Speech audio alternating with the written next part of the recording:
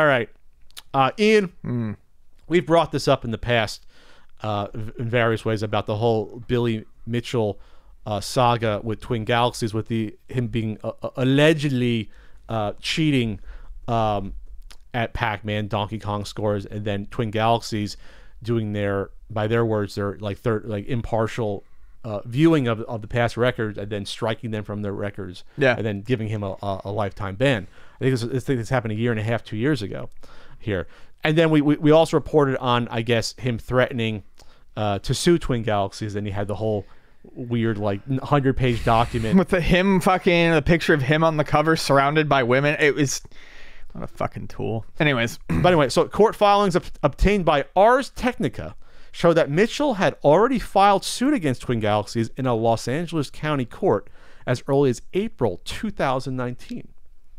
Twin Galaxies must be based around there. That's where it is. Uh, Mitchell's defamation lawsuit misfiled as William James Mitchell versus Twin Galaxies. It's mis it's misspelled Galaxies. It's G A L E X in there. Uh, and, and not, not reported in previous press accounts. It's been slowly uh, building to a planned July anti-SLAPP hearing where Twin Galaxies will make use of a statute that lets defendants quickly strike down lawsuits that threaten public participation. Twin Galaxy says in court filings that its statements regarding Mitchell's scores were not defi- defamatory and that finding in Mitchell's favor would have chilling effects on the freedom of speech. Okay, so what is an anti SLAPP? So, a majority of states by this point have what's called an anti SLAPP statute or law. So what that is, I'm trying to see how many states there are, but it's a lot of them, California included. So basically, what that means is, it's if someone sues you for slander or, or libel, uh, traditionally you'd have to get a lawyer. It'd be super expensive. You have to go through it. So what these states, especially since a lot of them are just trying to, you know, uh, b- big companies trying to trying to silence smaller people or scare them away from, you know, from or sil- basically silence your critics. Um, so an anti-SLAPP was put in place as, as a law where basically it's an expedient, expedient way to go in from a ju- in front of a judge. It doesn't cost that much. Even get a lawyer, it wouldn't cost a huge amount. And basically, the lawyer, excuse me, the judge can basically throw things out in their face before it even gets building. sure. So it's a way it's a way to prevent um, again the you know big predatory actions from people that just want to silence you from actual criticism or freedom of speech. You know, so this is what they're going to do um, here against Billy Mitchell. That's what they're trying to Twin Galaxies to get it thrown out of court. So so we'll see what happens uh, at that point uh, in time. I, I think it's I think it's ridiculous and it's very childish of Billy Mitchell. Um, you have to follow a certain set of rules to have a score. If you don't follow that certain set of rules to have a score, then your score is no longer valid. You didn't follow that certain set of rules, so your score is no longer valid. It's very easy. No one has to put your score back in.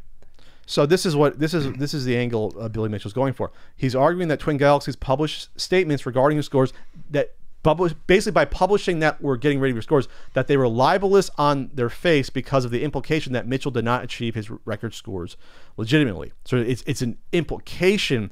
He, he's he's arguing that you're basically saying that since the the scores weren't legitimate, you're calling me a cheater. That's that's that's basically the angle he's going for here, if I'm reading this right. Um, so that's going to be his argument in court. Mitchell argues that Twin Galaxies at least implied that he was a cheater so that any reasonable reader would understand Twin Galaxies had called Mitchell a cheater who deserved punishment by stripping him of, of all his Twin Galaxies records and banning him for life from submitting further records. So this is going to be a mess because then even if this gets past the anti-SLAPP part actually goes to trial, what what was gonna what would happen is that they would have to put Billy on the stand and have to do depositions. This is what happens when you go after someone for slander or libel. You're the one the the the they you're you're basically the person accusing is the one basically being put on trial at that point. Right. Because you have to prove that the defendant willfully um, said something they knew was false. So that means they're going to dredge up everything about you. They're going to look into whether or not you achieved these scores uh, legitimately. Yeah. Because if, if you didn't, then it's then the case is thrown out automatically. Right. So that means they're going to have to get experts on the stand. Uh, Billy's going to have to be deposed uh, potentially about this.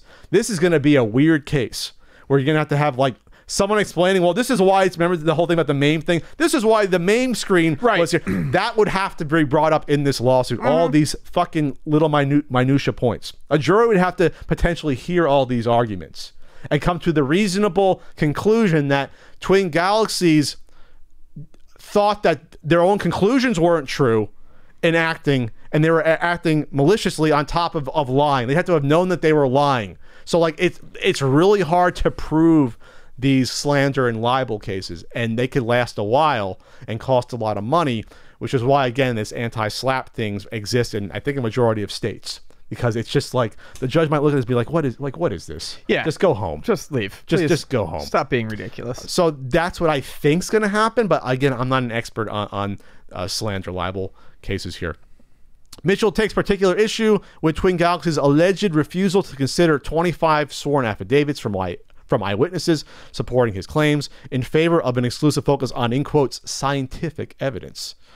Um, Twin Galaxies founder Walter Day is quoted saying that he finds it unexplainable that my testimony as the founder and former owner is disregarded, while others, specifically the ones against Billy, are embraced. Well, they're looking at the footage, they're looking at, you know, they were analyzing it was at arcade, was it MAME? That's going to be a lot of this, I, I believe, when it comes down to it. You know, it's tough. It's, it's tough. Again, this goes back to like a lot of these records are, uh, some of these are decades old, right? Going back to the 80s. And it's like, who the hell was inputting them at the time? And what was the evidence? Are those VHS tapes still around? You know, this is, I'm so glad I'm not in this community. I'm so glad I'm not like in the arcade, uh, you know, record setting community, high score community. It's a weird mess, man. I just I just don't.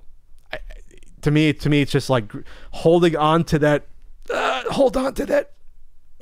Uh, hold on to it a little longer. And I just don't see the point. You know, 40, 35 years later, it's I don't. I mean, it, must be a small community that cares about this shit still. Yeah. Has to be at this point. There. Anyway, so yeah, we'll see what happens. Twin Galaxies Motion highlights that the 3,770 post dispute thread surrounding Mitchell's Donkey Kong scores. It was viewed 2.4 million times as of March 14th. The thread includes entries from 170 unique contributors and 211 public votes on the desired outcome of the case. Mitchell lost that vote in that thread 198 to 13. So again, this is all stuff that would come out in a trial. Be like, hey, Yeah. listen, we have we have these experts, we have these people that decide these things, and we went by their, you know. So this is an up this is an uphill battle, I believe, for Billy Mitchell and his lawyer. That's that's what I firmly uh, believe. In this Yeah, I don't see how this is going to end well for them. But Sure. there it is. Um, and obviously, it, includes, I believe, defamation. There again, it's, it's hard to, to it, you're not defamed if it's true. Right, exactly. So, just because it's if- just so because they- it right, it makes you look bad or you don't like it doesn't mean it's defamation. So so all if they claim that, well, this was our findings. If we didn't directly call you a cheater, we didn't defame you. If everyone else was thinking that based upon our what we consider truthful findings, that that's just the way it works. That's like saying you're defamed for you know. Uh, being called a thief if you were convicted of a crime and went to jail for it. It's like you're not being no, defamed. it's we're just uh, thief. yeah, it's just an unfortunate truth. it's a, it's a characterization based upon uh, what they what they think were the facts. So okay, anyway, so all right, well that's that's I guess we'll we'll we'll see what happens later in the summer when this uh, goes in front of a goes in front of a judge.